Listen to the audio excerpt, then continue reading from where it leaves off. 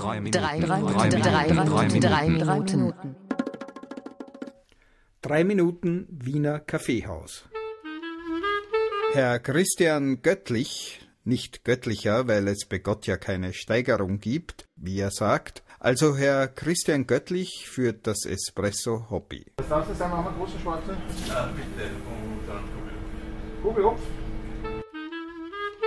Es ist aus den 50er Jahren und die 1958 angefertigte Einrichtung ist größtenteils noch erhalten.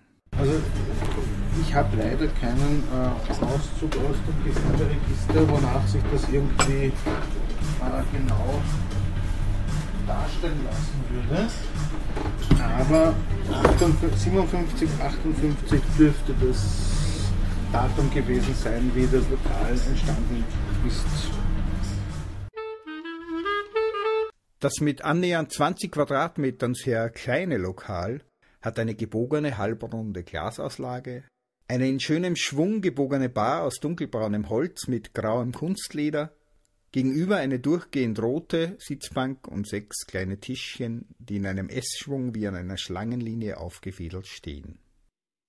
Die Theke, dahinter die Gläser und Spirituosen auf Glasetagers vor verspiegeltem Hintergrund.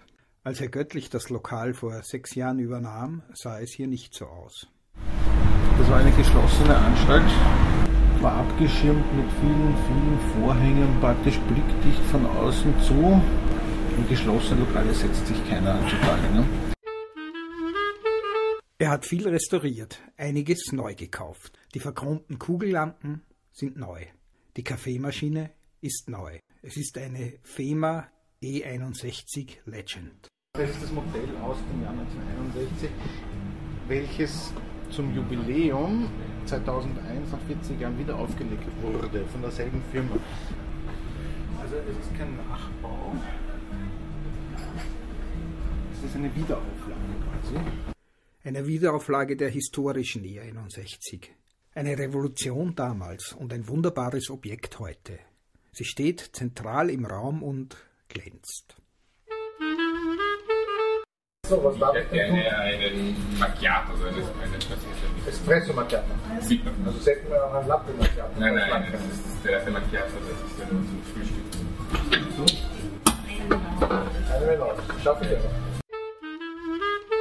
Die alte Frau Doktor sitzt auf dem Einsertisch. Sie lässt sich von Herrn Göttlich auf dem Handy anrufen, um zu überprüfen, ob es funktioniert, wenn später ihr Sohn anruft. Und wenn der Wiener Bauarbeiter eine Melange spielt, dann mache ich den ein bisschen anders, als wenn sie der Wiener Kaffee Freak hat. Wenn die etwas älteren Damen einen verlängerten wollen, dann soll das so schmecken, wie sie das sind und nicht so, wie zum Beispiel das Lehrbuch vorschreibt. Espresso Hobby, Währinger Straße 9, 9. Bezirk in Wien. Eine 50er Jahre Kaffeebar. ist immer schön bei Ihnen. Danke sehr. Sie hörten eine Produktion von 3 Minuten Radio, am Mikrofon Winfried Sochor.